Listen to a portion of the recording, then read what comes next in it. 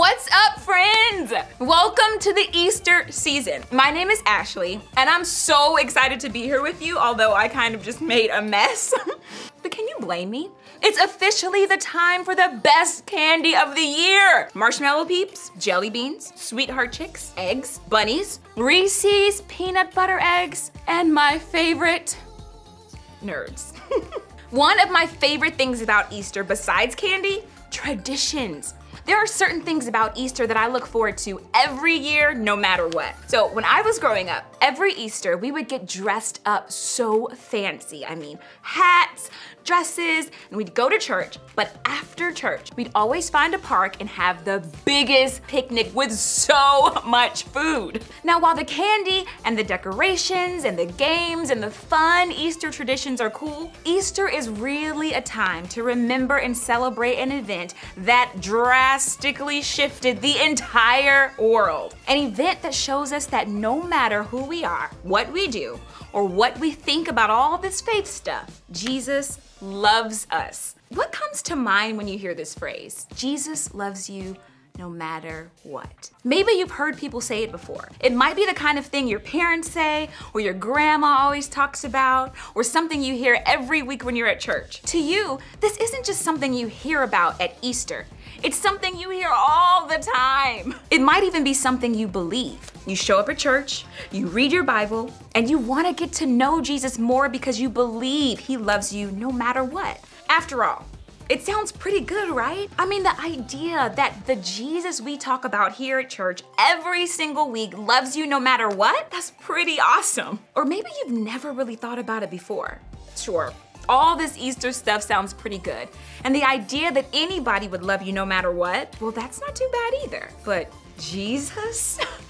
Maybe you haven't really given much thought to him or how he feels about you. You've got school and sports and siblings and friends and activities and social media and video games and all the other very real things that take up space in your mind. All this Jesus stuff and what it has to do with you, you've just never really thought about it. Or maybe you hear the phrase, Jesus loves you no matter what, and wonder if it could be true. At Easter, we talk about Jesus dying on the cross and then coming back to life to show us that he loves us no matter what. But if you're honest, that feels a little hard to believe. Maybe it's easier to believe God is angry or disappointed or distant no matter what. If he's this big, all knowing God, that means he knows the things you've done. For better and for worse. He knows you've cheated on tests, or lied to your parents, or shown up at that party you knew you weren't supposed to go to. He knows the way you've treated other people or the things you've tried to keep secret. And because of that, you feel like it would be almost impossible to believe that he could love you no matter what. Well, whatever comes to mind for you when you think about Jesus loving you no matter what, here's one thing I want you to know. It's true. No matter what we think, no matter what we feel, no matter what we do, Easter is the proof that Jesus loves us totally and completely. How do I know? Well, not only because I've experienced it, but because I've learned a thing or two about it from one of Jesus's closest friends. One of those friends was John. Okay, here's a quick backstory. John was Jewish, so he grew up studying the scriptures, what we now call the Old Testament. Those scriptures tell the story of God and the history of Jewish people. But like many Jewish people at the time, John was waiting for God to send the Savior, the rescuer that he had promised to send. It had been a long, long time of waiting for God to fulfill his his promise. Hundreds and hundreds and hundreds of years. Now, I don't know about you, but when I have to wait and wait and wait on someone, I start to wonder if something is up. maybe they're angry at me. Maybe I've done something wrong. So I think it's fair to guess that John might have wondered the same thing. Maybe he wondered if God was angry at him and his people. What was God up to? Maybe he'd abandoned them or forgotten about them or was disappointed in them. We can't totally be sure what John was wondering, but we do know John was human. Because of that, I guess at some point he probably questioned whether or not the God he learned about when he was growing up was really a loving and good God. If he really would fulfill all the promises he had made. And I would bet that John wondered what was taking God so long. But then something really big happened. God sent his son Jesus to the world. And as we see in the beginning of the second part of the Bible, called the New Testament, Jesus met John and John began to follow him. In fact, John became one of Jesus' closest friends when he was on earth. So, being that up close and personal to Jesus, you think that John probably got it right away. He saw several miracles that Jesus performed. He saw the way Jesus treated people. John heard Jesus preach powerful sermons about the kingdom of God. And he heard Jesus talk about how in God's kingdom, the hungry are fed, the thirsty are filled, refugees are welcomed in, naked are clothed, sick are cared for, and prisoners are freed. John listened to all the stuff Jesus taught about what it means to love others. And because of that, John just figured out that God really did love all of us no matter what, right? Well, not exactly. See, the stories in the Gospels, which are the four books that detail Jesus' life on earth, shows us time and time again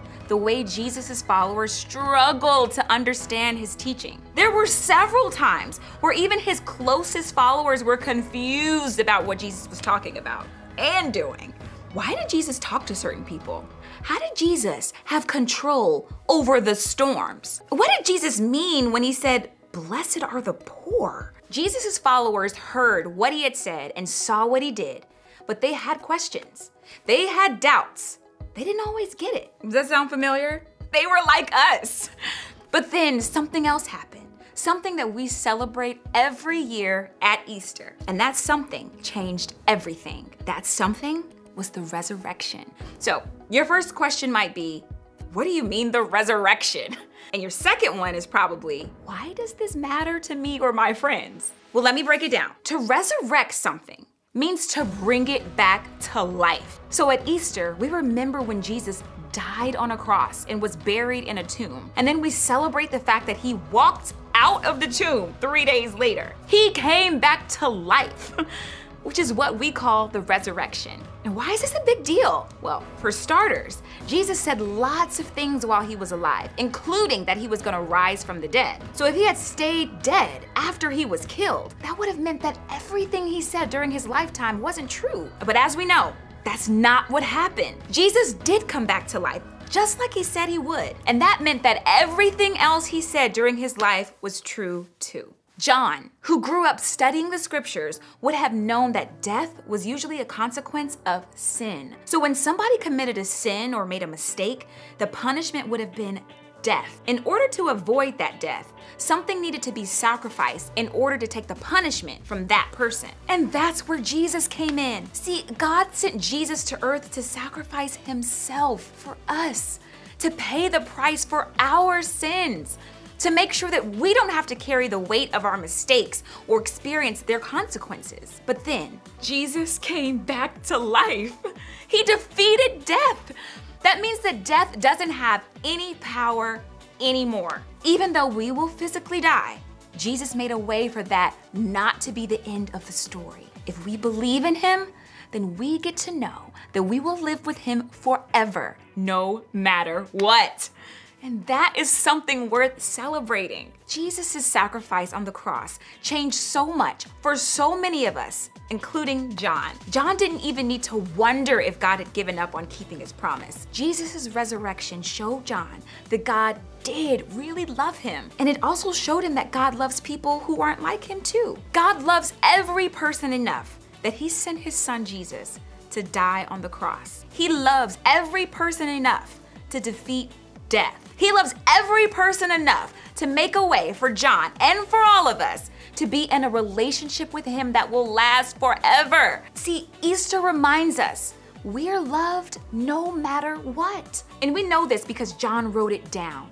Later in his life, he reflected on his experiences and wrote this in a letter to other believers. God showed how much he loved us by sending his one and only Son into the world so that we might have eternal life through him. This is real love. Not that we loved God, but that He loved us and sent His Son as a sacrifice to take away our sins. John was there when this all happened. He walked with Jesus, watched him get crucified on a cross, and then saw him alive again three days later. When John wrote about this love that God has for all of us and the sacrifice of Jesus, he knew what he was talking about. Easter reminds us we're loved no matter what. All this stuff John wrote about in the verses that we looked at, all the stuff that reminded him that Jesus really did love everyone no matter what, well, that same stuff applies to our lives too. Let's look at this verse again, but this time, I wanna say it in a different way. I wanna say it as if it was written just for you. God showed how much He loved you by sending His one and only Son into the world so that you might have eternal life through Him. This is real love. Not that you loved God, but that He loved you and sent His Son as a sacrifice to take away your sins. Whoa.